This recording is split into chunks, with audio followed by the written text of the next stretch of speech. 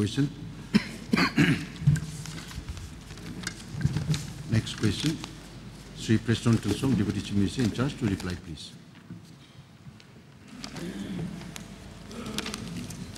Uh, Mr. Speaker, sir, reply to sir question 61A. Sir, there are four number of projects that are in the pipeline in Mawphlang constituency. The details are as follows. One PMGSY 3, two projects. Two RIDF scheme nil, three state scheme, two projects. B, sir, one Thanh Thanh Ro to Um Saumat to Lengdok Phan Blang. Two uh, zero two to Maungap Mau Karshiyeng PMJSY three. Three improvement and rehabilitation of Mawphlang Kat Road and Mawphlang Balat Road. Wa Um Pamtia to Weloy additional works. Four rehabilitation including construction of approach road to the sacred groves Mawphlang. C. Sir, the sanction by both the Government of India and the state government will be accorded during the current financial year 2024-25, sir. Ms. Matthew, uh, your supplementary question, please. Thank you, Mr. Speaker, sir. And thank you to the Teaching Minister in charge of for the reply. The Speaker, sir, farmers constitute around 70% of the population in the state. However, the road condition in the villages are so bad that they cannot bring their produce to the market. May I suggest the government to also seek funding for construction of rural roads other than construction of highways and state highways. My next question, sir.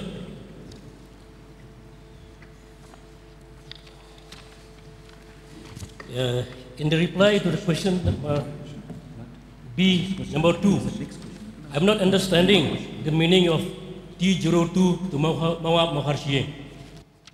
It is not clear, sir, this answer. And number three, with regard to the road from Mawphlang Road, Mawphlang Balat Road, Wa Ampamtia to Wailoy. Sir, is there any plan to construct footpath along these roads, especially in the market area? Sir. Uh, Mr. Speaker, sir, may I request the honourable member through you, sir, to repeat the question at least one by one, one by one, then I can reply accordingly, sir. Sir, sorry, sir. Answer the question number two, sir. May I get a question on this? T02 to Mawab Mount Khashia.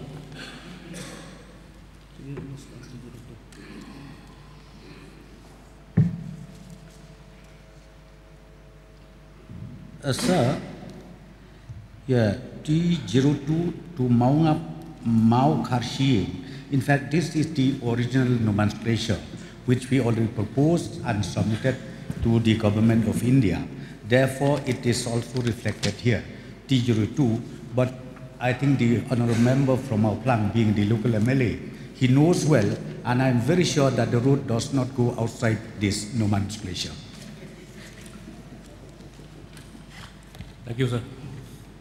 Uh, the next question, sir. Uh, to reply number three, number B3, is there any plan to construct footpath along this road, sir, especially in the market area in Tirsat, as well in the villages of Lingyong area?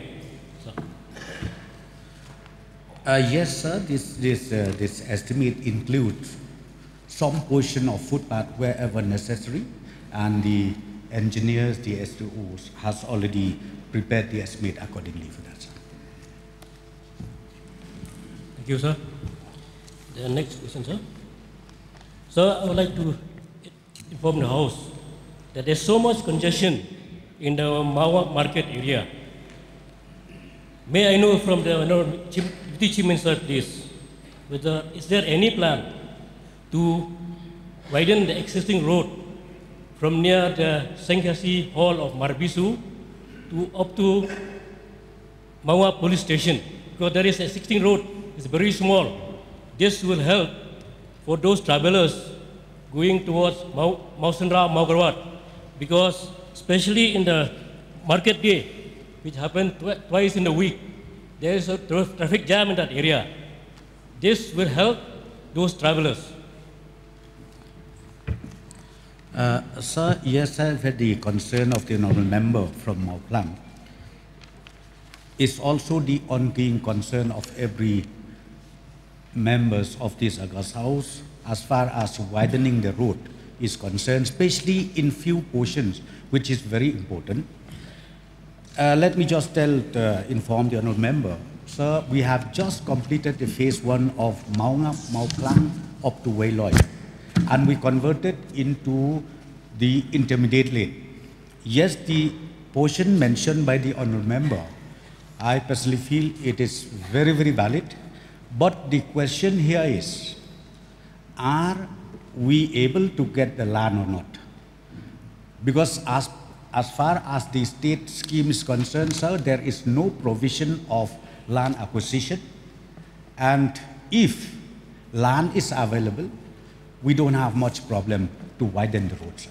But as I've said earlier, sir, the only challenges for the WD department is whenever we wanted to widen the road, the problem is the landowners are against it. So this is the challenges that we have. So I would like to discuss maybe in my office with the honorable member, in case if he can make an assurance that the land is available, then we will take up for the, for the estimate and also. Thank you, Mr. CC Mr. please. Uh, again, coming to that road, it is an existing, existing road, sir. At least if it can be repaired, the road has gone very bad. No one want to drive through that road, sir. If not, you cannot widen it, but still, the road can be uh, repaired so that small vehicle can pass through. Uh, my next question, sir.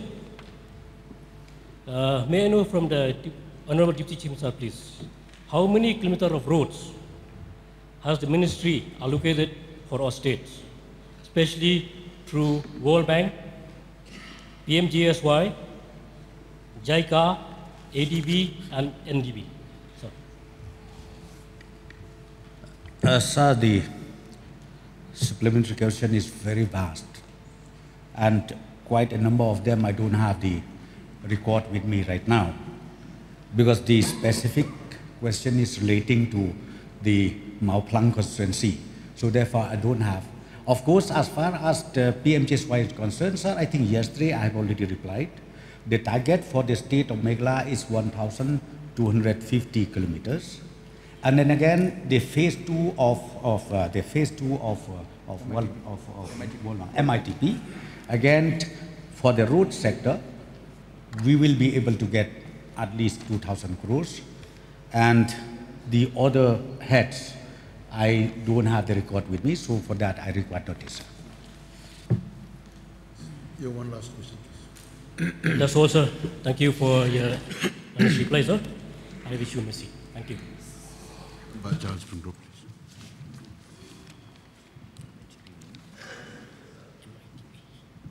Uh, The question is about roads. So, and even yesterday, uh, there was a, call it a uh, zero hour notice saying residents cry for repair of crucial roads in Mupaya. So, as I look across the aisle in the treasury bench, I must want to say a few things which will eventually pertain to roads only. So, I will not be deviating from the principal question. So, we have the Honorable Deputy Chief Minister, PWD, who lives in North my constituency. We have the Deputy Chief Minister, Master Walang, who also lives in North my constituency, has a house there. We have the Honorable Minister of Veterinary Department, Mr. Hek. He also lives in my constituency, and I presume he's my voter too. And even the Honorable Minister Ma Koming has a beautiful house in North Mai, in my constituency. Then former uh, present minister, who was then the former MLA, of uh, William Nagar, Mr. Marcuise, Ma- Honorable Minister Marcuise was from Nongthymmai constituency. So half the cabinet lives there. and uh, the road of Nongthymmai constituency as a whole is in a very dilapidated state, except from the Honorable Deputy Minister's house to my house. No potholes.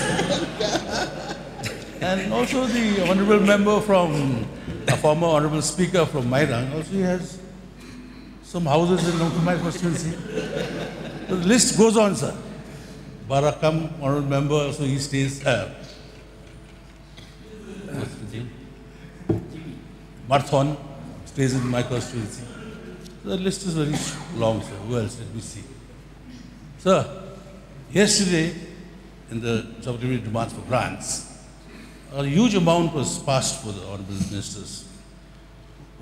May I know from the honorable minister if he will earmark five crores from the supplementary grants passed yesterday for the reconstruction of roads in Nongthymmai area, sir. Thank you. Uh, Mr. Speaker, sir, I would like to thank the honorable member from Nongthymmai, senior leader Charles Pyngrope, who has already named one by one the honorable members of this August House. Maybe the next year, in the next year, we will get all the 60 MLAs sitting in his, within the jurisdiction of his constituency. So, sir, yes, in fact, the intention of the government, the department, sir, as far as Shillong city is concerned, we really wanted to make sure that the all-weather route is in good condition. And in fact, I've already instructed the engineers to go for the detailed estimate as far as recarpeting, improvement of the road in Shillong city, and the esti- estimated uh, the estimate is being uh, is being prepared, and I'm very sure once the estimate is put up, we will take it up and we will get necessary sanction, and also not only that, we will implement and we will do the repairing works accordingly, sir. Yes, Barrington, please.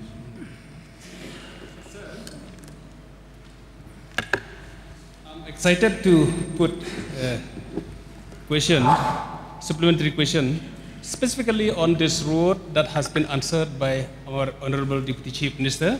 That is on Mawphlang Balat to Wailoi, sir. Uh, Mawphlang Balat Road, which is uh, Mawphlang up to Wailoi, uh, which uh, it's very, very important at, and it serves the four constituency people from four constituency using this route every day, serving the entire east and west and the entire west and, west and east.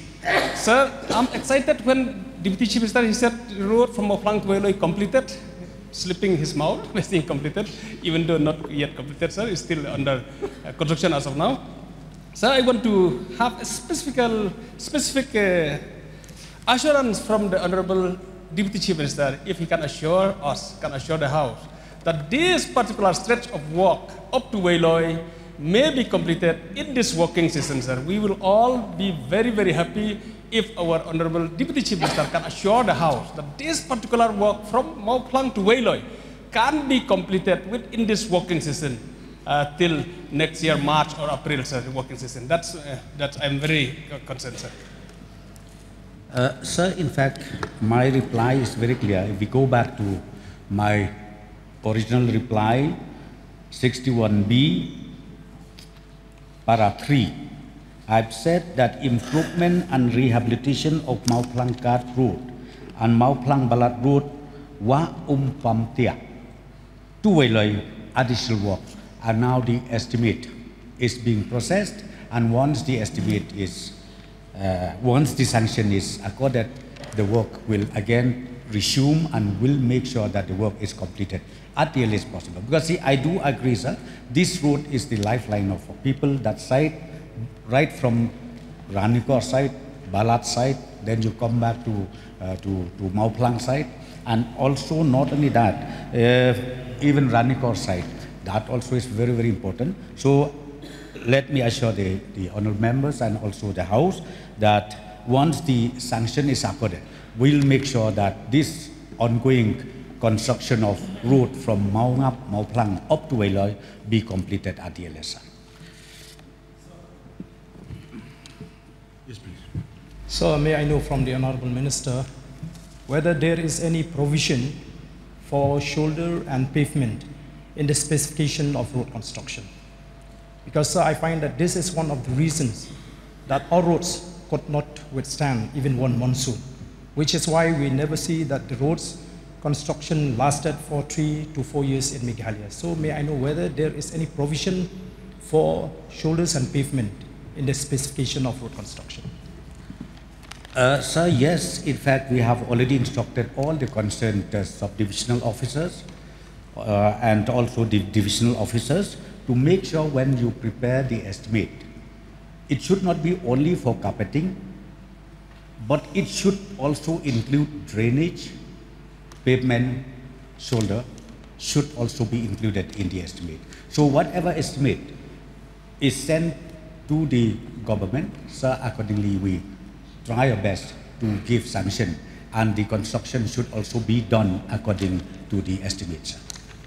So why I'm asking this question because I've uh, traveled across the state and especially in my constituency. I don't see that when they construct the road, they also have uh, construction shift, uh, shoulder and pavement, which is why most of the road which have been uh, constructed very recently are now being eroded, especially on the edge of the road.